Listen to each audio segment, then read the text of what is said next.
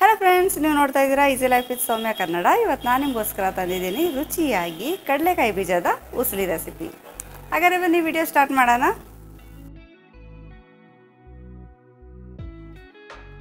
ಮೊದಲಿಗೆ ನಾನಿಲ್ಲಿ ಒಂದು ಕಪ್ ಕಡಲೆಕಾಯಿ ಬೀಜನ ಬಿಸಿನೀರಲ್ಲಿ ನೆನೆಸಿಟ್ಟಿದೆ ಎರಡು ಗಂಟೆ ಮುಂಚೆನೇ ನೆನೆಸಿಟ್ಟಿದೆ.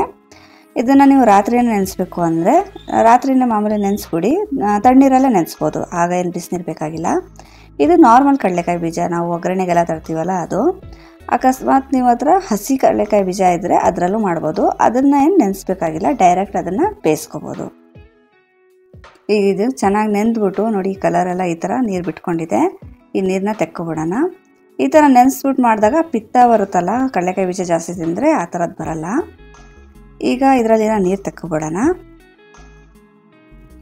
ಈಗ ನೀರೆಲ್ಲ ಕಂಪ್ಲೀಟಾಗಿ ತೆಗೆದಿದೆ ಈಗ ಇದನ್ನು ಒಂದು ಕುಕ್ಕರ್ಗೆ ಹಾಕೋತಾ ಇದ್ದೀನಿ. ಇದನ್ನು ನೀವು ಜಾಸ್ತಿ ಕ್ವಾಂಟಿಟಿಯಲ್ಲೂ ಮಾಡ್ಕೋಬೋದು. ನಾನು ಬರೀ ಒಂದು ಕಪ್ ಮಾಡ್ಕೋತಾ ಇದ್ದೀನಿ ಅಷ್ಟೇ. ಈಗ ಇದಕ್ಕೆ ರುಚಿಗೆ ತಕ್ಕಷ್ಟು ಉಪ್ಪು ಹಾಕ್ಕೊಳ್ಳೋಣ ಜೊತೆಗೆ ನೀರು ಹಾಕ್ಕೊಳ್ಳೋಣ ನೀರು ನೋಡಿ ಕಡಲೆಕಾಯಿ ಬೀಜ ಮುಳುಗಬೇಕು. ಅಷ್ಟು ನೀರು ಹಾಕಿದ್ರೆ ಸಾಕು. ಈಗ ಕುಕ್ಕರ್ ಮುಚ್ಚಳ ಮುಚ್ಚಿಬಿಟ್ಟು ಎರಡು ವಿಷಲ್ ತಕ್ಕೋಬೇಕು. ಎರಡು ವಿಷಲ್ ಬಂದಾದಮೇಲೆ ಕಂಪ್ಲೀಟಾಗಿ ಸ್ಟೀಮಲ್ಲಿ ಹೋದ್ಮೇಲೆ ತಕ್ಕೊಂಡಿದ್ದೀನಿ. ಕಡಲೆಕಾಯಿ ಬೀಜ ಚೆನ್ನಾಗಿ ಬೆಂದಿದೆ. ಫುಲ್ಲು ಹಲ್ವಾ ಥರ ಮುದ್ದು ಮುದ್ದೆ ಥರ ಆ ಥರ ಬೆಂದಿಲ್ಲ. ಕರೆಕ್ಟಾಗಿ ಪರ್ಫೆಕ್ಟಾಗಿ ಬೆಂದಿದೆ.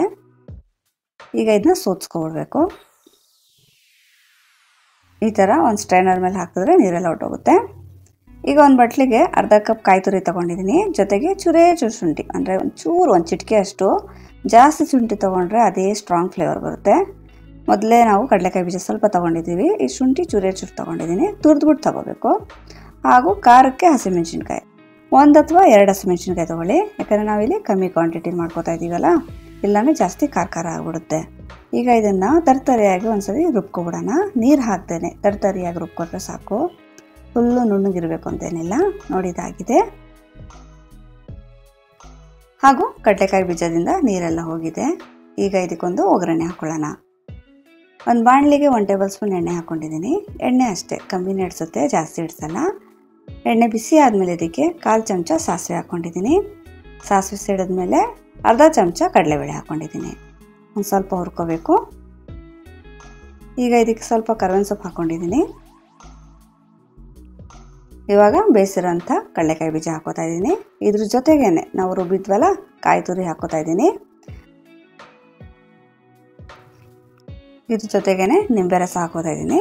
ನಿಂಬೆ ರಸ ನೋಡ್ಕೊಂಡು ಹಾಕೊಳ್ಳಿ. ತುಂಬ ಸ್ಟ್ರಾಂಗ್ ಆಗಿಬಿಡುತ್ತೆ ಜಾಸ್ತಿ ಹಾಕ್ಬಿಟ್ರೆ.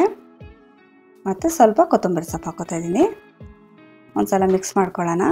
ಈಗ ಇದೆಲ್ಲ ಹಾಕಿದ್ಮೇಲೆ ಜಾಸ್ತಿ ಹೊತ್ತು ಮಿಕ್ಸ್ ಮಾಡಬೇಕು ಅಂತ ಏನಿಲ್ಲ. ಒಂದು ಸ್ವಲ್ಪ ಮಿಕ್ಸ್ ಮಾಡ್ಕೊಂಡು ಇಳಿಸ್ಕೊಂಡ್ರೆ ಸಾಕು. ಇದರಲ್ಲಿ ಹಸಿ ಹಸಿದು ಕಾಯಿದೆಲ್ಲ ಫ್ಲೇವರ್ ಚೆನ್ನಾಗಿರುತ್ತೆ. ಮಿಕ್ಸ್ ಎಲ್ಲ ಮಾಡಾದ್ಮೇಲೆ ಒಂದು ಸಲ ಉಪ್ಪು ಚೆಕ್ ಮಾಡ್ಕೋಬೇಕು. ಉಪ್ಪು ಬೇಕು ಅಂದರೆ ಒಂದು ಸ್ವಲ್ಪ ಹಾಕ್ಕೋಬೇಕು ಯಾಕಂದರೆ ಕಡಲೆಕಾಯಿ ಬೀಜ ಬೇಯಿಸ್ಬೇಕಾದ್ರೆ ಸ್ವಲ್ಪ ಉಪ್ಪು ಹಾಕ್ಕೊಂಡಿದ್ವಿ ಈಗ ನೋಡಿ ಚೆನ್ನಾಗಿ ಮಿಕ್ಸ್ ಆಗಿದೆ. ಈಗ ಉಸ್ಲಿ ರೆಡಿ ಆಗಿದೆ. ಇವಾಗ ಗ್ಯಾಸ್ ಆಫ್ ಮಾಡ್ಕೊಳ್ಳೋಣ. ರುಚಿಯಾಗಿ ಕಡಲೆಕಾಯಿ ಬೀಜದ ಉಸ್ಲಿ ರೆಡಿಯಾಗಿದೆ